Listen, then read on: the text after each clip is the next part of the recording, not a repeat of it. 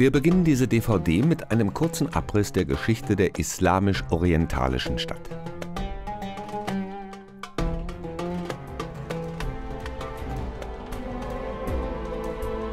An den Ufern von Euphrat, Tigris und Nil entstanden einst die ältesten Stadtstrukturen der Erde. Anhand des idealisierten Modells der traditionellen islamisch-orientalischen Stadt werden wir folgende Aspekte betrachten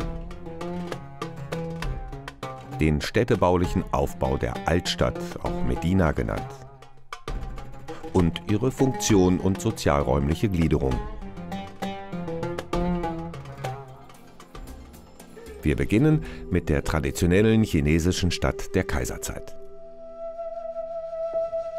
Die Stadt dieser Zeitperiode ist sehr stark von der chinesischen Volksreligion beeinflusst.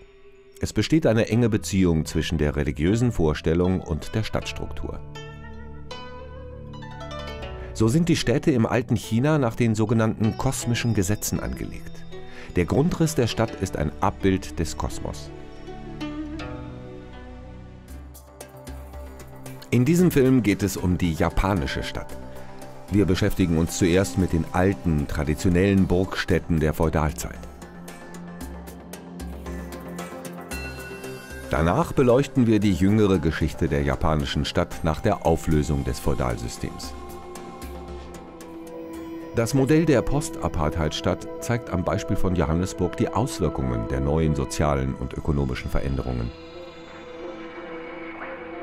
Alte und neue urbane Strukturen überlagern sich.